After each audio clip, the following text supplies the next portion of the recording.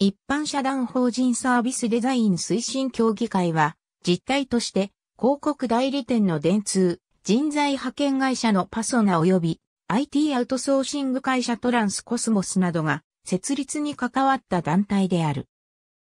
経済産業省によるおもてなし企画認証事業の公募が始まった2016年5月16日と同1年月日にサービスデザイン推進協議会が一般社団法人として設立された。定款の作成者名は経済産業省大臣官房情報システム構成課であるが、この定款の作成者、タイトルが環境競争イニシアチブのそれと同じであり、さらに左京の設立時代表理事の赤池学が、同環境競争イニシアチブ代表理事を務めている。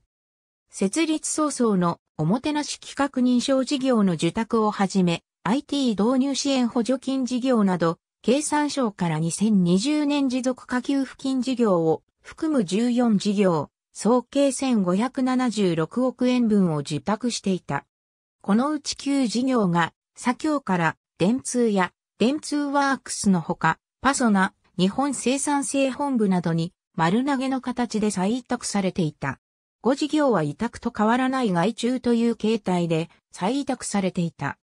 日本におけるコロナ禍による社会、経済的影響により緊急支援的に実施された2020年持続化給付金事業では、左京の受託費769億円分のうち97%に当たる749億円分が電通に再委託されていたが、残りの事業でも大半が90%以上の割合額で再委託されていた。これまでに受託してきた主な事業として以下のものがある。サービスデザイン推進協議会が入居する講和日東ビルのフロアガイド。2階と3階に曰く付きの事業者らがひしめき合っている。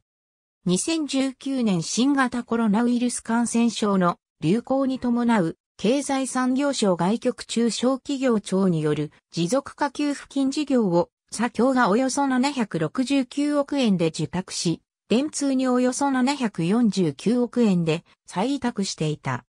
電通から、電通ライブ、電通テック、電通国際情報サービス、電通デジタル、電通東日本などに再々委託し、さらに、電通ライブからはパソナ、大日本印刷、トランスコスモス、TOW などに再々委託していた。その丸投げの過程で、電通本体だけでおよそ104億円余り、電通グループし、会社6社を含めると少なくとも154億円、余りの緊急支援的意味合いのある公金ないし、税金が大規模に中抜きされていたことが報じられ、国会審議などで波紋を呼び起こしている。